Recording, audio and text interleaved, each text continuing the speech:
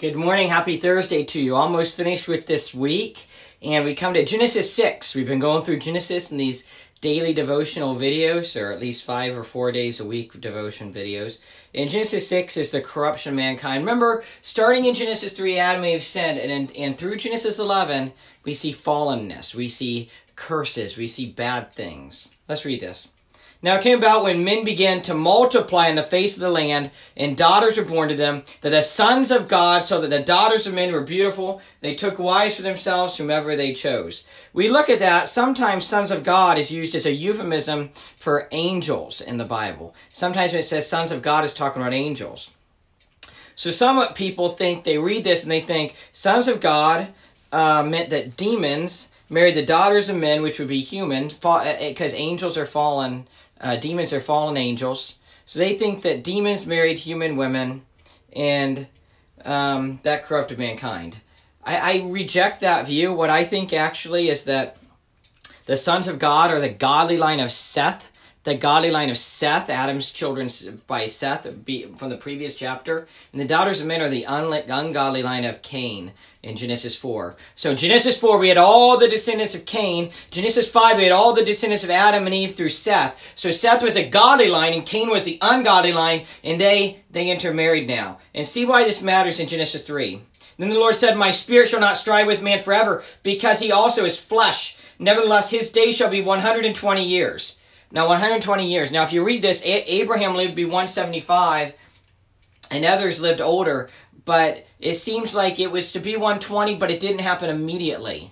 It did not happen immediately. So by the end of the Pentateuch, the Torah, Pentateuch, and Torah are the first five books of the Bible Genesis, Exodus, Leviticus, Numbers, Deuteronomy. By the end of Deuteronomy, we see that uh, Moses died at 120. And so that came about by the end of Moses' life. Verse 4 the Nephilim were on the earth in those days.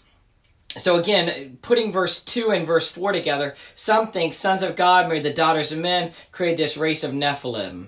And that's because they think Nephilim means giants. Nephilim really doesn't mean giants. Nephilim just means fallen ones. It just means fallen ones, okay? So the daughters of the daughters of men the ungodly line of Cain married the son, the sons of God, which would be the godly line of Seth. In that in, that intermingling, that un, unequally yokedness, so to speak, created fallen ones. The Nephilim were on the earth in those days, the fallen ones, and also afterward, when the sons of God came into the daughters of men, and they bore children to them. Ungodly line married the godly line, created um, more ungodliness. Those were the mighty one mighty men who were of old men of renown. Verse 5. Then the Lord saw that the wickedness of man was great on the earth, and that every intent of the thoughts of his heart was only evil continually. The Lord was sorry that he had made man on the earth, and he was grieved in his heart. Now that's just using anthropomorphic language, ascribing to God human attributes. Verse 7 The Lord said, I will blot out man whom I have created from the face of the land, from man to animals to creeping things and to birds of the sky, for I'm sorry that I made them. But Noah found favor in the eyes of the Lord. These were the records of the generations of Noah. Noah was a righteous man, blameless in his sight. Noah walked with God. Noah was righteous and blameless. It didn't mean that he was sinless, but that his patterns of behavior followed God.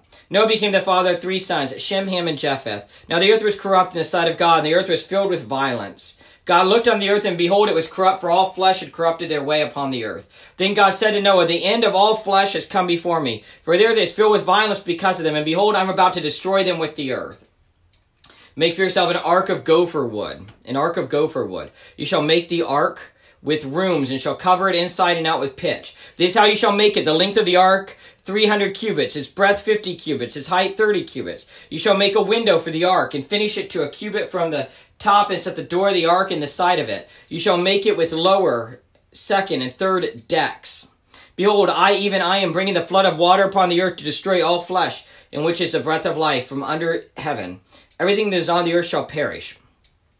But I will establish my covenant with you, and you shall enter the ark, you and your sons, and your wife, and your sons' wives with you. And every and, and of every living thing of all flesh you shall bring two of every kind into the ark, to keep them alive with you. They shall be male and female. Of the birds after their kind, of the animals after their kind, and of every creeping thing of the ground after its kind, two of every kind will come to you to keep them alive. As for you, take for yourself some of all food which is edible, and gather it to yourself, and it shall be food for you. and for them. Thus Noah did according to all that God had commanded him, so he did. So this is the introduction to the flood narrative. We'll see the flood begin in the next chapter, and um, we'll come back to this tomorrow. Have a good day in the Lord. God bless.